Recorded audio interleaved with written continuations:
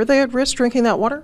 So at this point, I have not been told that. Um, I haven't been told that um, short term or long term there's a risk. Uh, when I'm told that, I will certainly share that. I haven't made this decision based on what happened on the Flint situation. I'm making this decision because I feel like it's the best decision.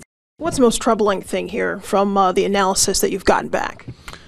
Yeah, great question. Um, I, I I would say what's most troubling is that, that it has taken this long uh, to have a broader conversation about the quality of infrastructure uh, in our schools. These are high achieving students, and, and not just because this is Cass or Detroit Public Schools.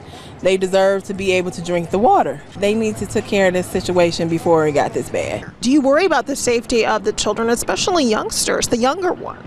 Yeah, abs- I mean, I think it's common for everyone to be concerned about students in general, especially younger students.